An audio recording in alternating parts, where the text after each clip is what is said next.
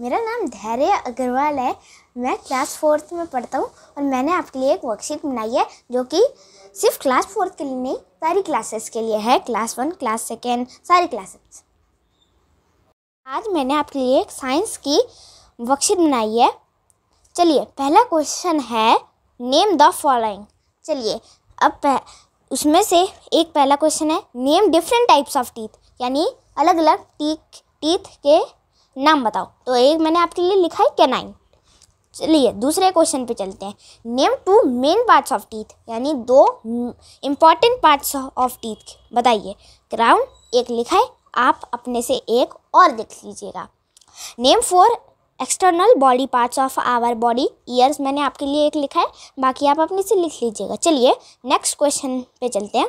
Answer the following अब cavity क्या होती है? A hollow space in tooth which is decayed is called cavity. What is plaque? A sticky yellow layer on a tooth is called plaque.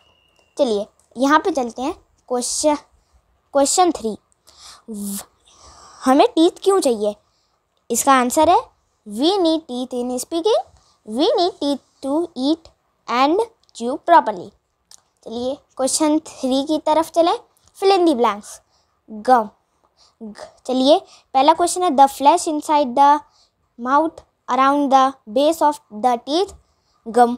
ठीक, चलिए। Next question है इसका ही, कि a smooth thread made of silky material use to clean teeth इसका आप अपने silkie लिख लीजिएगा नेम टू यानी दो बताइए। नाम। Organs in digestive system oesophagus और यहाँ पे एक आप अपने से लिखेगा इंपॉर्टेंट इंटरनल ऑर्गन्स किडनी एक आप अपने से लीजिएगा लिखिएगा। Thank you